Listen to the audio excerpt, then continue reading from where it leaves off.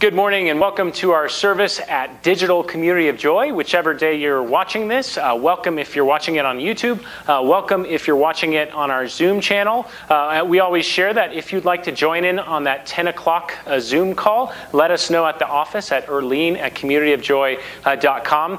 But as always, I want to begin with a couple announcements.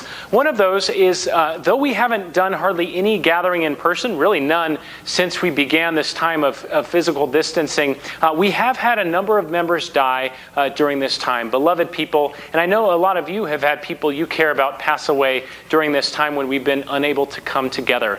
And so, kind of following the guidelines about how you can do this safely, uh, we are going to be holding an outdoor service of remembrance, which will kind of be uh, a service for everyone who might have passed away during these last several months, during a time when probably you couldn't attend a funeral. So, that is going to be outside on the front yard of our church around the cross.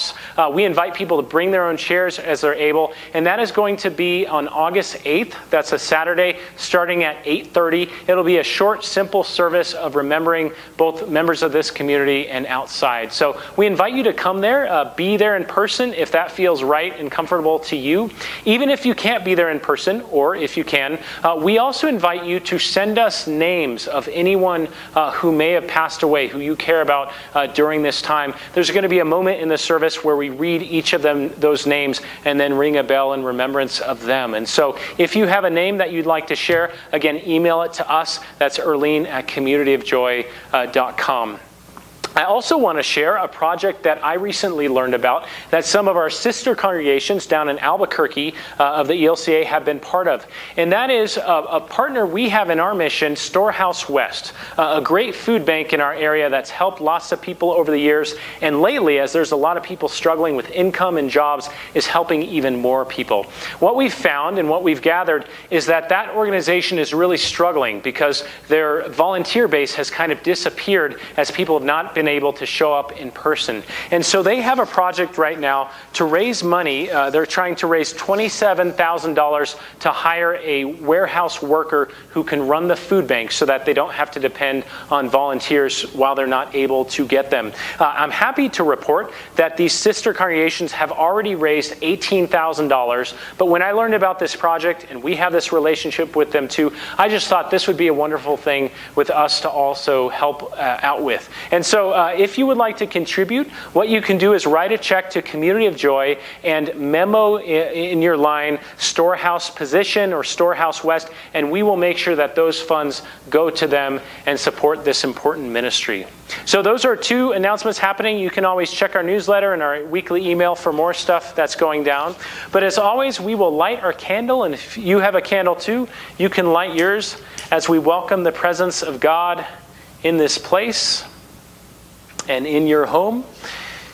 And as always, we will begin with a call to worship prayer. I invite you to join me responsively. We come to you, O Lord, hungry for hope, healing, and forgiveness. Feed us out of your abundance, living God. We look out and see yet more hunger in our world for food, for grace, for life. Move us to share our abundance with others, loving Christ in a world where many call us to greed and scarcity. Show us that you have given us enough, enough love, enough life, and enough abundance for all. Amen. Amen. I come with joy, a child of God, forgiven,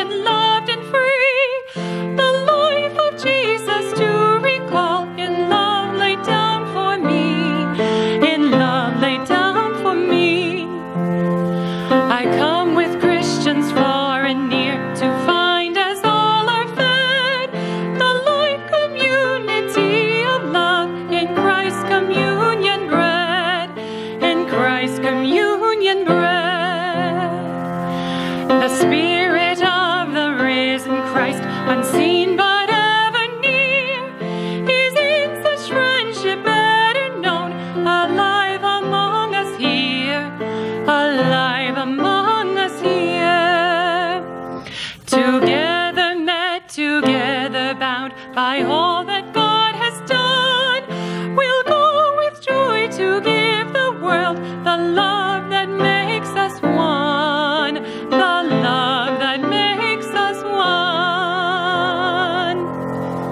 the name of the Father, the Son, and the Holy Spirit, Amen.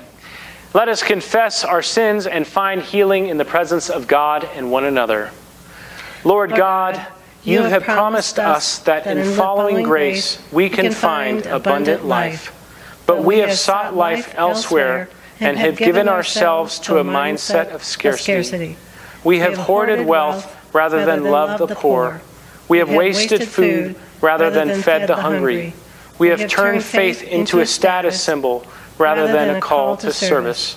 Forgive us and heal us, gracious God, as we confess our brokenness and seek healing in this time of silence.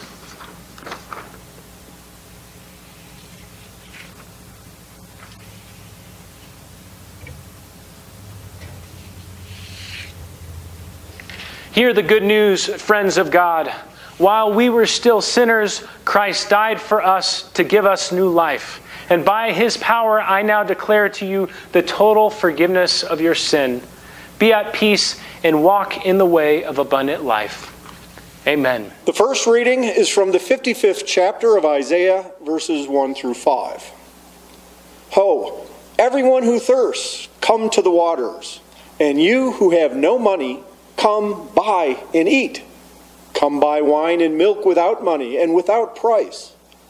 Why do you spend your money for that which is not bread, and your labor for that which does not satisfy?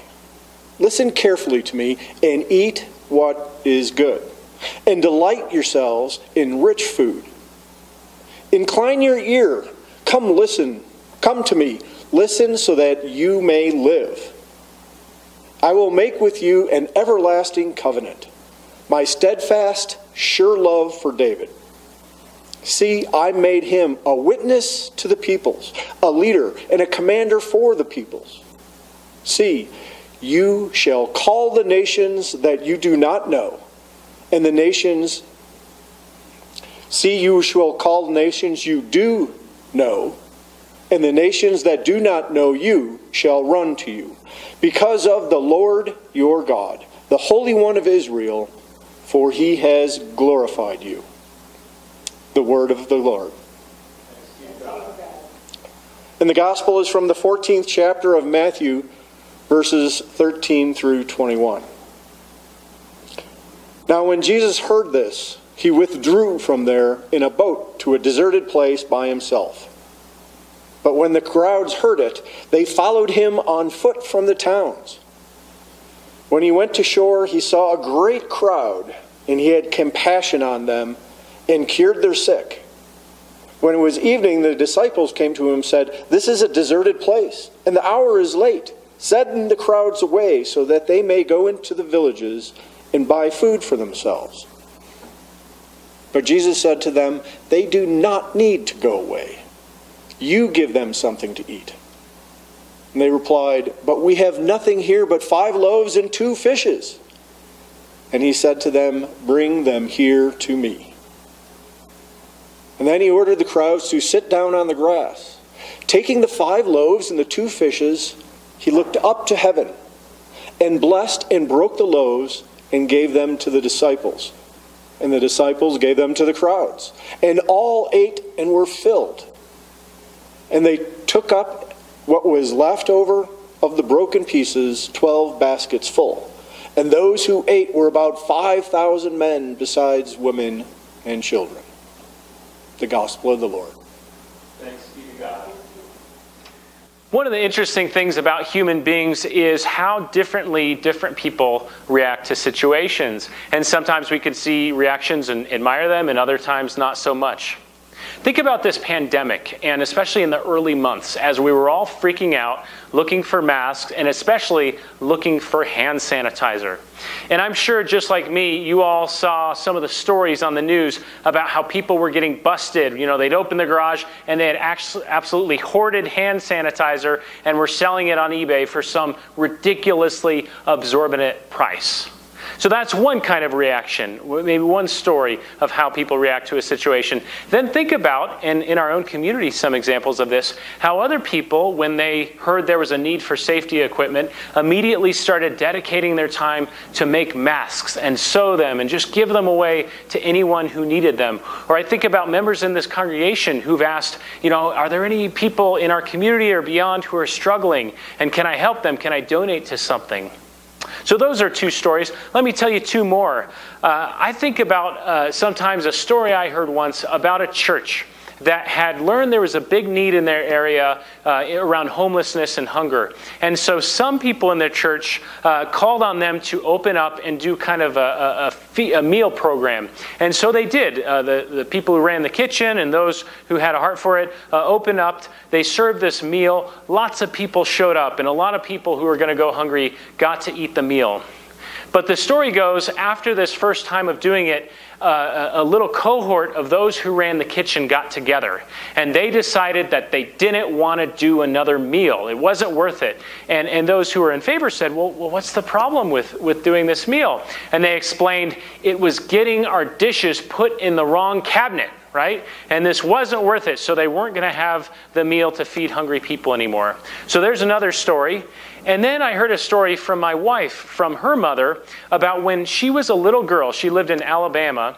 And when uh, Stephanie's mom was a little girl, uh, she remembers there was this practice her, the ladies of her church had where they all kind of kept gardens or lived on farms. And there would be certain days, certain weekends, where they would all bring like green beans, fresh green beans. And together they would uh, boil them and flavor them and cook them. And then it was the era of canning, right? So they would all can them together. And at the end, no matter how much anyone brought and no matter kind of the contribution, uh, they would divide them up pretty much evenly. But more than anything, if there was someone that they knew was poor, they would send a few extra cans with them to make sure they could get through the next few months. So think about those stories, right? We have the first set of stories in each of those cases and the second set. And let me ask you a question. Of these two sets of stories, which one was more admirable, the first stories or the second? The stories of people who sought to selflessly look after themselves and gain advantage over others, or the stories of people who willingly gave of themselves and what they had so that others could also uh, be, be, be good, be, be in a good position. Well, I would guess that if our hearts aren't too closed, if we're not too sick in our heart, I'm guessing most of us would more admire the second set of stories, right? Uh, the people who want to sew masks more than the people who want to hoard uh, hand sanitizer. The people who want to give extra food away than the people who want to shut down their kitchen because the plates are in the wrong place. And, you know, we hear the first set of stories, the, the hoarders and those who want to turn away the hungry, and I think we hear something that, quite frankly, feels kind of ugly. And when brought into the light of day, we think, you know, that's not a kind of person I would want to be. And then we hear the second set of stories, and we're called outside of ourselves, and we think, you know, that's something I admire. That's a, per, a kind of person who I would want to be more like. And I think the difference we feel between these two kinds of stories is ultimately about a different kind of perspective, a different kind of worldview, a different kind of mindset. And you know, theologians, people who read the Bible, or just those who think about ethics, have actually put a name to this. They've kind of called these things different kinds of terminology. And the best terms they've come up with for these contrasting mindsets is a scarcity mindset versus an abundance mindset.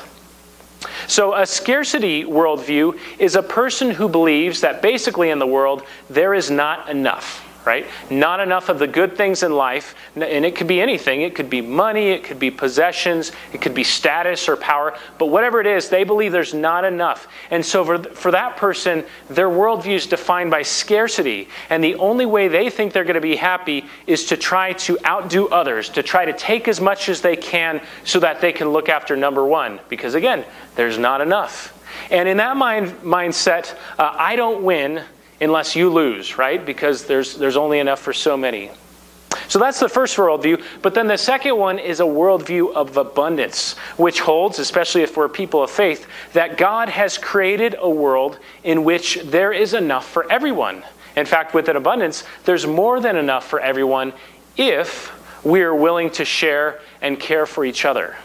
And so rather than looking at people who are trying to be happy and seeing them as competitors who we need to defeat, uh, in the worldview of abundance, we see them as neighbors. And we believe that if they win, I win, and if I win, they win too. Well, for Christians, as we think about this kind of thing, it's worth asking which of these two kinds of worldviews do we think best describes what Jesus was trying to lead us to, what Jesus was all about? And you know, a great way to explore this question is in our gospel lesson today, this famous story of the feeding of the 5,000. And we're going to be talking about abundance, but ironically, it begins with poor, poor Jesus, in a way, feeling some scarcity. We hear that he has been uh, surrounded by crowds. He's been, he's been teaching, he's been preaching, he's, he's been healing, and he is looking for some alone time. He's looking for rest. I'm sure you've been there before, right? Where you're just stretched too thin. So poor Jesus, uh, it says, goes off to a lonely place, as it describes, to try to find a little alone time, to try to rest and pray, uh, because maybe he's feeling like there's not enough to go around. So he goes off to this wilderness, but alas, the crowds discover where he is, and word spreads. And pretty soon, this entire uh, crowd of people surround and flock to Jesus. And, uh, you know, this is a point in this story where we get to ask, well, how is Jesus going to respond in terms of these two worldviews? Is he going to respond with scarcity and say, Gosh, guys, I'm tired, just go away and leave me alone? There's not enough of me to go around. Or is he going to respond with a mindset of abundance? And what we see is that he chooses to welcome them in. He chooses to approach them with this, with this abundant love, and even when he's tired, to give of himself what he has. So abundance wins out, and even though he's probably tired, Jesus starts preaching to them. And being Jesus, I'm sure they were amazing sermons. But uh, before long, there gets to be a more immediate problem, which is that these crowds have gone out to where Jesus is. And as we talked about, it's a lonely place. It's out in the country. There are no uh, inns, there's no restaurants, there's no McDonald's to get a burger, and these people are going to be hungry. And so eventually the disciples come to Jesus and they say something quite understandable, uh, which kind of is this idea of scarcity. They say to him, This is a deserted place, and the hour is now late. Send the crowds away so that they may go into the villages and buy some food for themselves. And again, this isn't a mean or dumb thing to say. It's, it's kind of a reasonable position under the circumstances. But I think Jesus, not being nor a normal human being, uh, wants to make a point. And so he says something very surprising in the context of there not being enough food. He says, You give them something to eat. And from there, the rest of this famous story pans out where they find a boy who has a few fish and a few loaves, and Jesus multiplies them. And it says, not only is there enough food for everyone, it says that there is more than enough. And after they're done and after everyone has eaten, it says they have to gather uh, a bunch of baskets because there's such an abundance that they put the leftovers in, in this bunch of baskets. And so I think it would be fair to say that in at, in at least this gospel story, the abundance mindset wins all day long. But actually, this isn't the only story which kind of describes a God of abundance. Uh, this follows the pattern that we see in many situations of Jesus' teaching and his life, where most people assume that we live in a world of scarcity, and Jesus is trying to move them along to see that actually God has given us an abundance. You know, in some stories, people assume that there's a scarcity of welcome and inclusion at God's table, and yet Jesus comes along and he turns around and he invites the rejects, the outcast, to eat with him, to have a meal with him. In other stories, people assume that there's a scarcity of forgiveness and that certain people are just beyond being forgiven by God. And yet Jesus comes along and he forgives sinners and he tells stories like the prodigal son about, you know, people who had messed up their life being welcomed back home and he teaches us about how we are called to love our enemies. People assume in other stories that there's a scarcity in Jesus' time and attention, like in this story. And yet, again and again, Jesus stops what he's doing. Jesus stops what he's trying to do for himself, maybe to get some R&R, to heal the little person, right? The leper, the blind man, the poor woman who no one else has noticed. Well, you know, not only is this a spiritual lesson from Jesus, but the idea that there is abundance is also borne out in the world as well. It is actually the reality. And when I say this, some of you might have some objections to this idea that there's abundance. And you might point out that sometimes actually there isn't enough, right? Because sometimes things like poverty and famines are real and people struggle from them. And it's true that, right, sometimes people lose their jobs and they don't always have an abundance of income. Sometimes families are hungry and they don't have an abundance of food. Uh, it is absolutely true, this is true on an individual level, that sometimes we struggle in this world with actual scarcity. But actually, the point of the abundance mindset that Jesus wants to teach us is not that there is always enough individually, because, like we discussed, sometimes there isn't enough individually, but that when loving community comes together, there's enough. Right? That's when it's different. Or as I recently heard it said, there's never enough for greed, but there's always enough for need. And actually, this matches what a lot of experts tell us about a lot of the world's problems. Uh, people who are experts in world hunger always like to say that actually there's enough food for everyone to eat well. It's a matter not of enough food, but of not enough sharing, not enough uh, making sure everyone has access to food in the world. Likewise, there is more than enough income. There's more than enough money for everyone to have a livable income. But again, it's about the opportunity to access it. It's about people having jobs and benefits and, and, and the ability to, to support themselves by us distributing it fairly. So again, it is not scarcity that's the problem. In many cases, it's actually inequality, it's greed. And I want to tell you one last story to end this sermon, a story I really liked uh, finding a few months ago. But before I do, I want to ask you if you remember reading, or maybe more recently have read, a famous old book called Lord of the Flies. I remember reading it in school uh, and being fascinated by it. It's, it's real kind of dramatic. But it tells the story of a bunch of boys uh, who somehow get uh, stranded on an abandoned island. And basically, as they get stranded together and there's no adults around, uh, things quickly go downhill. And pretty quickly, they form factions and they turn on each other and they're vicious and cruel towards each other. And if memory serves, one of them actually ends up getting killed. Spoiler alert, a little bit late, I guess. Uh, but the theme of the story is really how vicious and cruel humans are by nature, how this is what we go to when unrestrained by civilization. So, a pretty negative story, a fascinating story, but a pretty negative story. But I remember several years ago coming across a story, and I found it today, uh, and it's entitled The Real Lord of the Flies What Happened When Six Boys Were Shipwrecked for 15 Months. And the interesting thing in this story is that the real Lord of the Flies event goes very different than the book version though actually they're not based on the same story.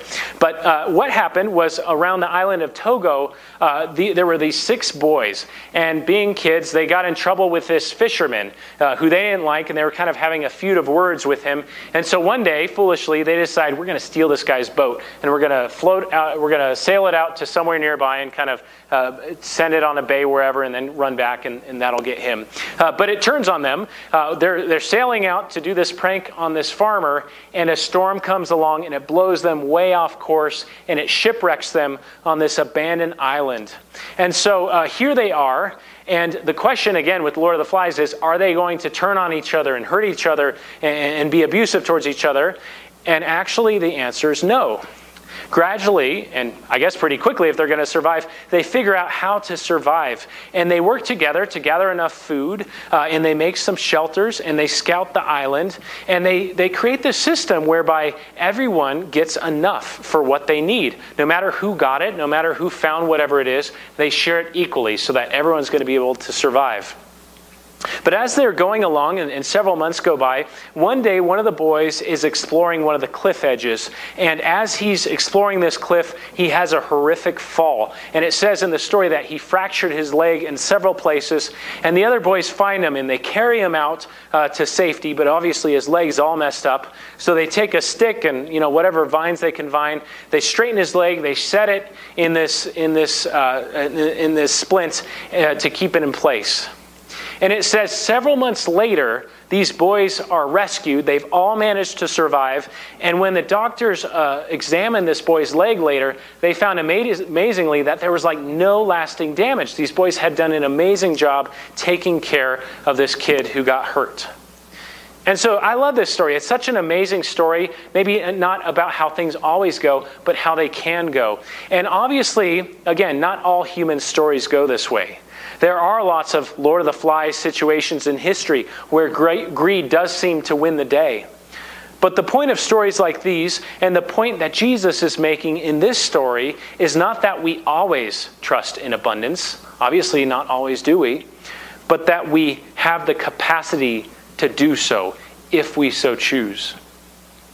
And if we adopt the worldview of abundance, you know, we can feed the hungry. We can clothe the naked. With an abundance mindset, we can welcome the stranger. We can love the outcast. We can change our world. And Jesus believed that, and he wants you to believe it too. And as we ponder this miracle story to, together, remember that the miracle that this world really needs is not a miracle to mul- multiply food, because again, there's already enough food. The miracle that's needed is to multiply compassion and mercy and love.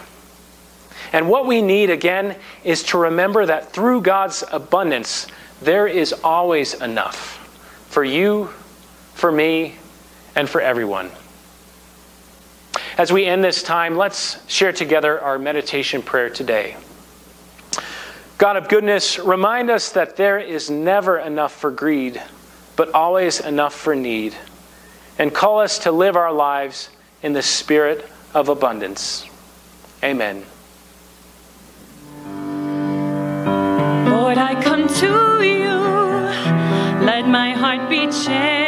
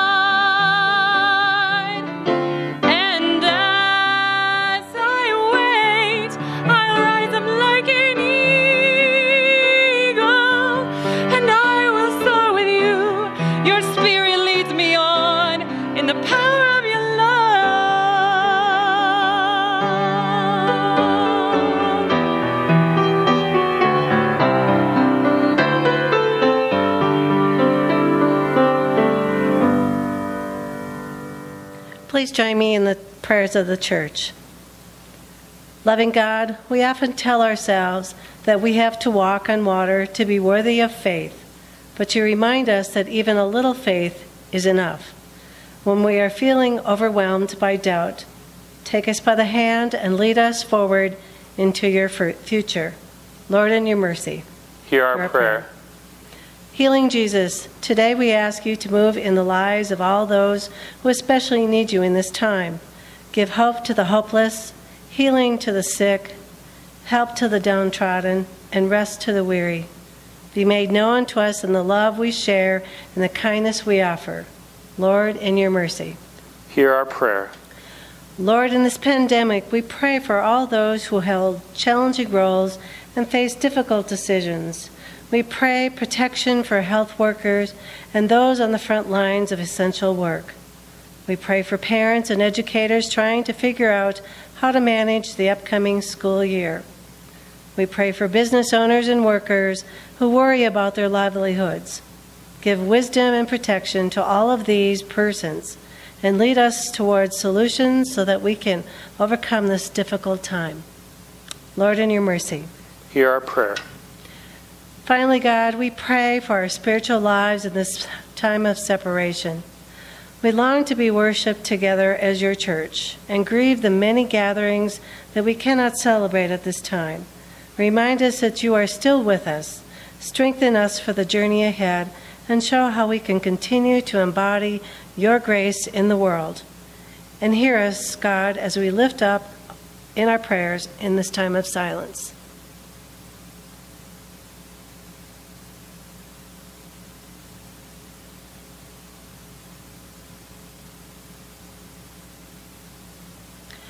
Lord, in your mercy. Hear our prayer. Our Father, who, art, in heaven, hallowed be thy name. Thy kingdom come, thy will be done, on earth as it is in heaven. Give us this day our daily bread, and forgive us our trespasses, as we forgive those who trespass against us. And lead us not into temptation, but deliver us from evil.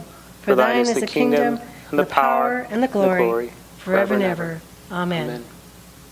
Well, once again, uh, we're thankful that you're joining us for this service, and we also are thankful for all the ways that you continue uh, to pray for this church and give of yourself. And we especially thank you for your financial support during this time. Uh, you have allowed us to thrive uh, in ministry in all the ways that we're able to do right now. Uh, and so, thank you for that giving. Uh, as always, you can go to our website and go to the giving link and find different ways that you can offer those gifts, whether electronically or mailing in a check. I also just want to reiterate again this project of supporting Storehouse West. Again, if you'd like to support that wonderful uh, effort to hire a staff person uh, at the food bank, uh, you can again write a check to us and then put in the memo line Storehouse West position, and we will make sure that it goes uh, where it needs to go. Uh, but bless you as we sing this song together and offer ourselves to God in thanksgiving.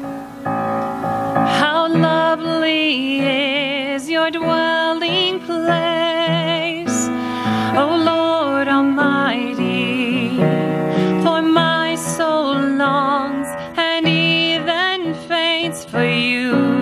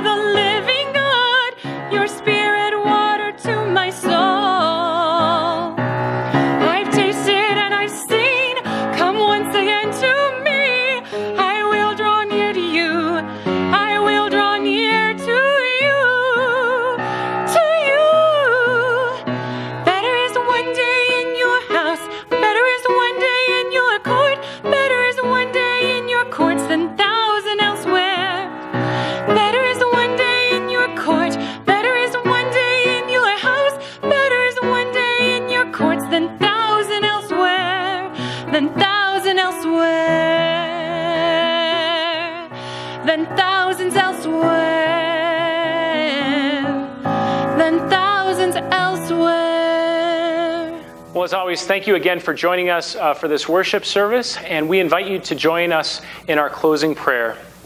God of love, in a world of greed and scarcity, you have given us a vision of compassion and abundance.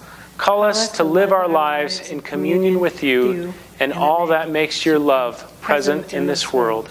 In your name we pray, Jesus Christ. Amen.